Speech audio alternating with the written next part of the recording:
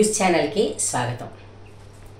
So ప్రతిసారి మనకి ఒక ఏడాదిలో మూడు సార్లు మనం నవరాత్రులు చేసుకుంటాం. ఫస్ట్ది మొదటి నుంచి చూస్తే శ్రీరామనవమికి చైత్రమాసంలో చేసేదానికి ఒక నవరాత్రులు తొమ్మిది. ఆ తర్వాత వినాయక చవితికి గణపతి ఆ తర్వాత దసరా నవరాత్రులు దసరా. శరన్నవరాత్రులు నవరాత్రులు. ఈ మూడు నవరాత్రుల్లోనూ మిగిలినవేమో కానీ మనకి శ్రీరామనవమి నవరాత్రులు చాలా స్పెషల్గా ఉంటాయి. అవును. మనకు మనకు గుర్తున్నంత వరకు మన చిన్నప్పుడు ఆ తొమ్మిది రోజులు చాలా చాలా చోట్ల పందిళ్ళు వేసేవారు. చలువ పందిళ్ళు అంటారు తాటాకులతో.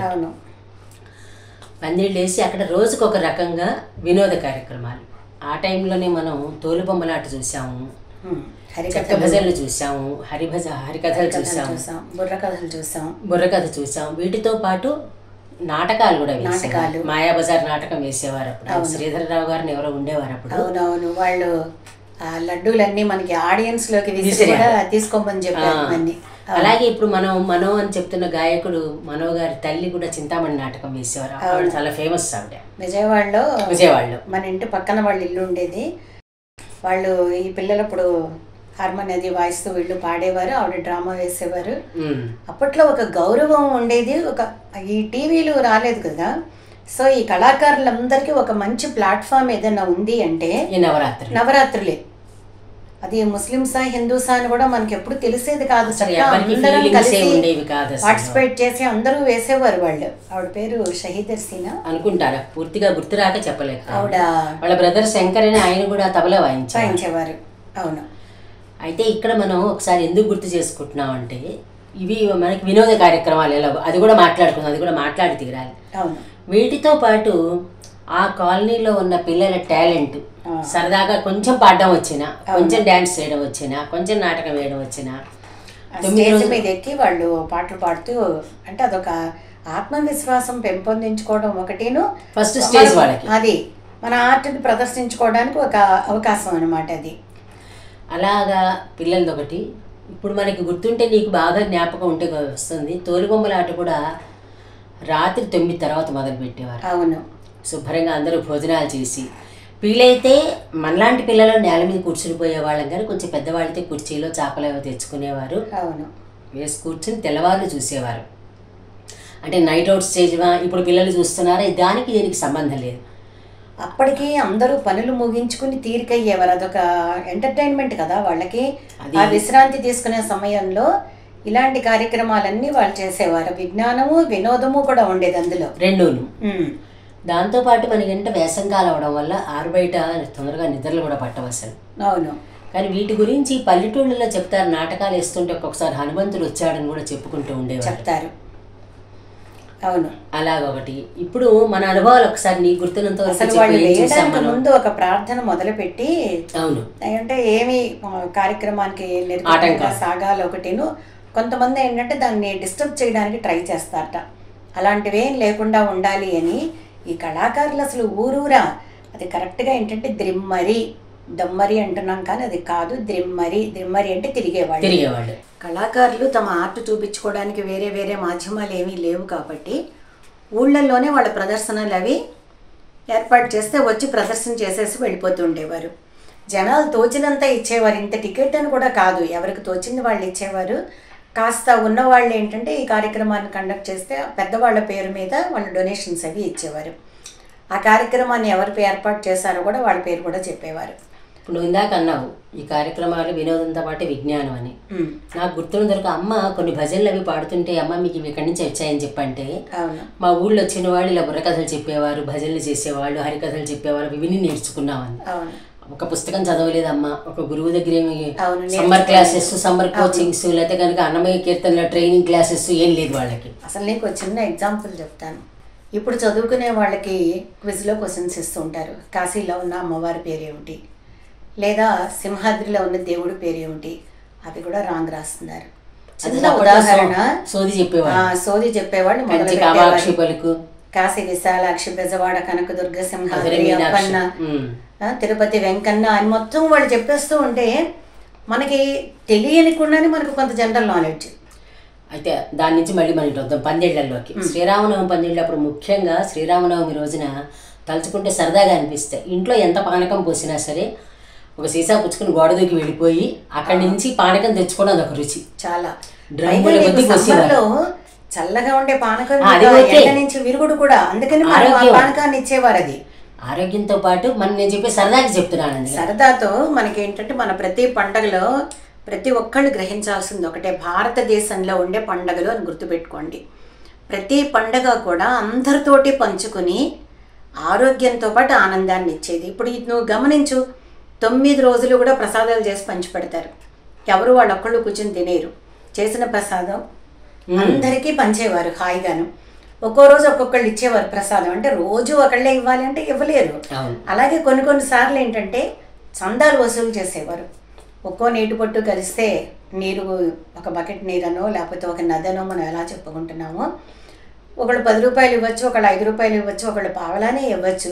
ఇవన్నీ కలిస్తే వచ్చిన దాంతో తొమ్మిది రోజుల పాటు ప్రసాదాలు సంతర్పణ అయ్యాక తొమ్మిదో రోజు అన్నదానం కూడా చేసేవారు. ఈ అన్నదానంలో కులమతాలు పట్టింపు ఏం లేదు. అందరూ కూర్చుని భోజనం చేసేవారు. నీకు గుర్తుందో లేదో.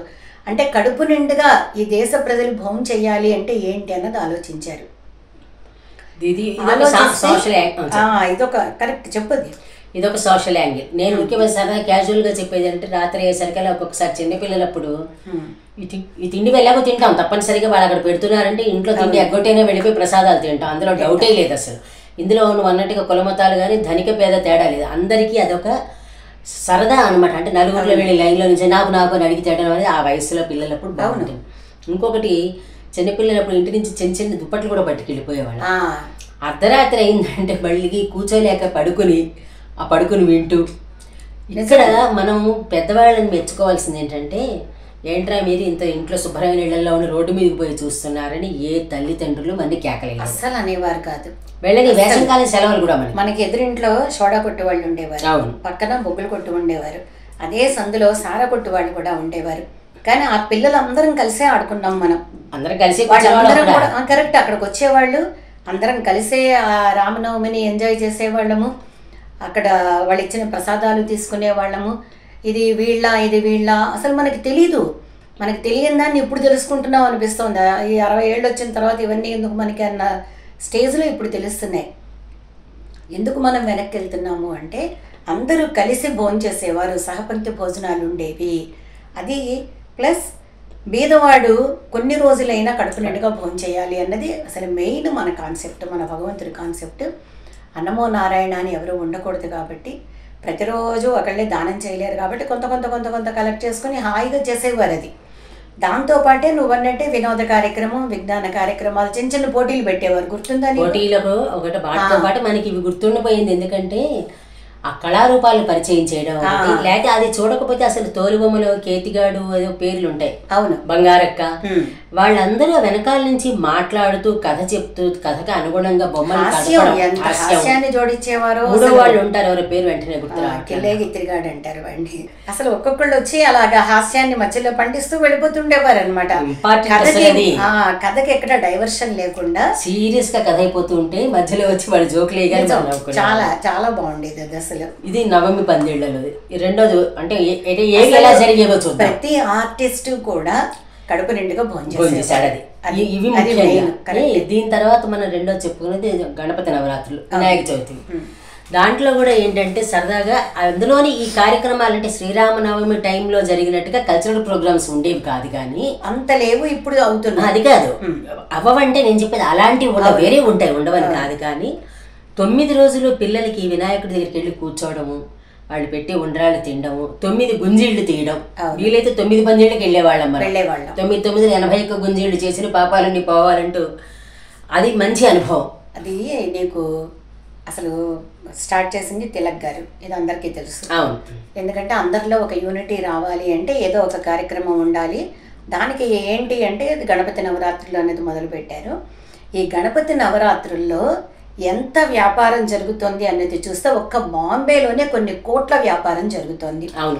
ఎందుకని బొమ్మలు తయారు చేస్తాం. ఏ ఇయర్కి ఆ ఇయర్ ఫ్రెష్ బొమ్మ పెట్టుకోవాల్సిందే. మట్టితో చేసిన బొమ్మ. దానికి పెట్టుకుని ఒక పాలవెల్లి కట్టి కట్టి కేవలం ఆకులతోటి పువ్వులతోటి కాయలతోటి పూజ చేస్తాం. ప్రకృతి ప్రకృతి. ప్రకృతిలో దొరికేవన్నీ తొమ్మిది రోజుల పాటు దాన్ని ఉంచి తొమ్మిదో రోజు తీసుకెళ్ళి మళ్ళీ కాలువలో కలుపుతాం. ఈ మట్టి అవ్వని ఆ పత్రి అవ్వని నిమజ్జనం. నిమజ్జనం చేస్తాం. అదే దాన్నే మళ్ళీ అండం కూడా గంగా తల్లి గంగాదేవి ఒడిలోకి పంపడం అని పంపడం. సరే పెద్ద విషయం కాదు యాక్చువల్గా దానికి. చిన్న రీజన్ ఏంటంటే కాలువల్లో పూడికి తీయాలి. తీయమంటే ఎవడు తీయడు. అదే మనం ఒక పూజ పెట్టి మట్టి ప్రతిమనే పూజించాలి అనగానే కాలువల్లో పూడికి తీయడం అయిపోతుంది. మట్టి ప్రతిమలు వచ్చేస్తాయి. ఆ గణపతివి ఇంత పెద్ద పెద్ద చెవులు అంటే మనం వినాల్సింది పెద్ద చెవులతోటి చిన్న కళ్ళు సూక్ష్మంగా చూడాలి. పెద్ద తొండం అంటే ఎక్కువ గ్రహించాలి. ఇంత రీజన్ ఉన్నది. అంతే తప్ప ఎవడు పడితే వాడు ఏది పడితే అది మాట్లాడితే ఒప్పుకోకూడదు మనం. అలా ఉండి. అలాగే ఆ రోజు చూడు పత్రి అమ్మే వాళ్ళు ఎంతమంది అమ్ముతారో పత్రి. వాళ్ళకి ఆధారం. కదా వాళ్ళకి జీవనాధారం. ఉపాధి ఇవన్నీ కూడా ఇప్పుడు మన ప్రభుత్వాలు చెప్తున్నట్టే సెల్ఫ్ ఎంప్లాయ్మెంట్ అన్నమాట ఇదంతా. సరదాగా చిన్న చిన్న గొడుగులు చేస్తారు. ఆ రోజు వాటికి విపరీతమైన డిమాండ్ ఎన్ని రకాలు. వినాయకుడికి తలపాగాలు చేస్తారు డ్రెస్సులు చేస్తారు. వినాయకుళ్ళని కూడా ఎంత క్రియేటివ్గా స్కూటర్ మీద వెళ్తూ ఉంటాడు వినాయకుడు నడక మంచం మీద పడుకుంటాడు. భగవంతుడు ఏంటంటే మనకి మనతోటే సమానం మన కొడుకుతో సమానం. అందుకని మన కొడుకుని మనం ఎన్ని రకాలుగా డెకరేట్ చేస్తున్నాము గణపతిని అన్ని రకాలుగా డెకరేట్ చేస్తున్నాం.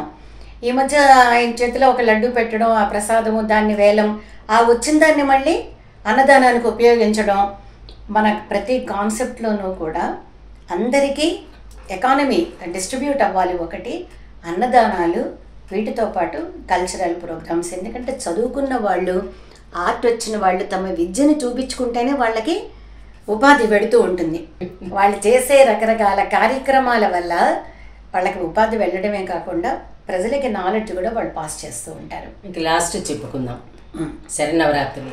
శీతాకాలంలో వచ్చే నవరాత్రులు. అయితే ఇది దుర్గాదేవి నవరాత్రులకు ఏంటంటే ఇలా ప్రోగ్రామ్స్ కాదు కానీ అమ్మవారిని తొమ్మిది రోజులు తొమ్మిది రకాలుగా ప్రార్థించడం తొమ్మిది రకాల నైవేద్యాలు ప్రతిరోజు అయితే నేను అది ఒకసారి జర్నలిస్ట్గా ఉన్నప్పుడు నేను అది ఇది చదివి స్టడీ చేసి చేస్తే అందులో చెప్పే తొమ్మిది రకాల నైవేద్యాలు మనకి లలితా సహస్రనామాల్లో వస్తాయి. అంటే పెద్ద అంత డీప్గా వెళ్దామని కాదు కానీ. అవి డైజెషన్కి ఈజీగా ఉండే పదార్థాలన్నీ. సీజనల్గా. సీజనల్గా డైజెషన్కి ఉండేవి. ఇక్కడ నాకేమనిపిస్తుంది అంటే తొమ్మిది రోజులు అమ్మవారికి తొమ్మిది రూపాయలు మనం పేర్లు తెలుసుకోవడంతో పాటు తొమ్మిది రకాల అలంకరణలు తెలుసుకుంటాం తొమ్మిది రకాల రంగులు తెలుసుకుంటాం. ఈ తొమ్మిది రోజులు అమ్మవారి ఏ ఏ దుష్ట శక్తుల్ని. స్త్రీకి ఇక్కడ ఎంత ఇంపార్టెన్స్ ఇచ్చారు? స్త్రీ దేవతలు ఉన్నారు మన దేశంలో. స్త్రీని దేవతగానే పూజించాం. అమ్మవారు ఎంతమంది దుష్ట శక్తుల్ని అణిచివేసింది? అంటే నీ శక్తిని నువ్వు గ్రహించు. నువ్వేదో ఆడదానివి ఇంట్లో కూర్చొని వంట చేయాలని చెప్పలేదు ఎవరును. ఏ అమ్మవారు ఏ దేవతను సంహరించింది అన్నది చెప్తూనే మనకి నీ శక్తిని నువ్వు గుర్తు తెచ్చుకుంటూ ఆ స్త్రీని కూడా మనం గౌరవించాలి వాళ్ళని అణిచివేయకండి వాళ్ళ గౌరవం వాళ్ళకి ఇవ్వండి అని చెప్పే ఒక అద్భుతమైన పండగ మనకి దసరా నవరాత్రులు. అందుకని మూడు నవరాత్రులు మూడు రకాలుగా చెప్పుకున్నాం. ఈ నవరాత్రుల్లో కూడా మళ్ళీ నీకు అన్నదానాలు ఉంటాయి అన్నదానం అనేది మనం అంటే అది మళ్ళీ అది జనరల్ అవుతుంది మనం చెప్పట్లే. మనం పిల్లలు అని మామూలుగా చెప్పుకుంటాం అదే. అన్నదానం అనేది క్వైట్ కామన్ అన్నిట్లో ఉంటుంది. ప్రతిసారి. నీవు అన్నట్టే ఒక్కో దానప్పుడు ఇప్పుడు ఇలాంటప్పుడు అది ఏం పురాణం అది చెప్తారు అమ్మవారిది? దేవి భాగవతం. అది చెప్తూ ఉంటారు. పిల్లలకేమో మహిషాసుర మర్దిని స్తోత్రం అవ్వచ్చు లేదా సౌందర్యలహరి అవ్వచ్చు లలితా. సహస్రనామం అవ్వచ్చు ఇవన్నీ చదివిస్తూ ఉంటారు ఇవన్నీ ఏంటంటే మన మెమొరీని పెంచుతూ ఉంటాయి మనకి ఆయుష్ని పెంచుతూ ఉంటాయి పలికి కదా పదాల వల్ల లోపల. వైబ్రేషన్ ఆ వైబ్రేషన్ మనకి ఎంత శక్తిని ఇస్తుందో ఇవన్నిటితో కూడిన సంగమాలే మనకి నవరాత్రులు ఒకసారి అందుకని మీ పిల్లలు కూడా నవరాత్రులప్పుడు ఎక్కడైనా సరదాగా మీ ఇళ్ళ దగ్గర రామనవమి పందిళ్ళు వేసినా వినాయక చవితి పందిళ్ళు వేసినా అలాగే సేమ్ శరన్నవరాత్రులప్పుడు దసరాలప్పుడు వేసినా పిల్లల్ని సరదాగా అక్కడికి పంపించండి. ఏదో అయిపోతుంది ప్రెస్టీజ్ ఫాల్స్ ప్రెస్టీజ్ అక్కర్లేదు ఎవరికిను. అసలు గణేష పంచకం అవి చదివించి పోటీలు పెట్టి ప్రైజులు ఇచ్చేవారు. ప్రైజ్గా గ్లాస్ ఇచ్చారా పళ్ళెం ఇచ్చారా అనేది తర్వాత విషయం. కానీ ఆ బహుమతి తీసుకోవడం అనేది మనం నేర్చుకోవడం అనేది కూడా భలే బాగుండేది అది. ఇప్పుడు కొంచెం ఏంటంటే గేటెడ్ కమ్యూనిటీస్లో చేస్తున్నారు. కానీ ఇంకా కాస్త మన పిల్లల్ని ఎంకరేజ్ చేసి ఇవన్నీ వాళ్ళు చేసేలా చేస్తే కనుక వాళ్ళు ఆరోగ్యంగా హాయిగా ఆనందంగా ఉంటారు. మనకి బోలెడంత ఆరోగ్యము ఆనందం ఇది. ఒక్కసారి అందుకని బాల్యంలోకి వెళ్ళి మళ్ళీ నవరాత్రులు గుర్తు చేసుకుని పిల్లలు కూడా మళ్ళీ వాళ్ళు పెద్దవాళ్ళు అయ్యాక మా బాల్యంలో ఇలాగా అని ఎంజాయ్ చేసేలాగా చేయడం పెద్దవాళ్ళగా మన కర్తవ్యం అని భావించండి. మీకు నచ్చినట్టయితే లైక్ చేయండి షేర్ చేయండి సబ్స్క్రైబ్ చేయండి. అదేవిధంగా మీ అమూల్యమైన అభిప్రాయాలని సూచనలని కామెంట్ బాక్స్లో మీరు రాస్తే మేము మరింత బాగా చేయడానికి మరియు కొన్ని మరిన్ని కొత్త విషయాలు మాట్లాడడానికి మాకు అవకాశం ఉంటుంది. నమస్కారం.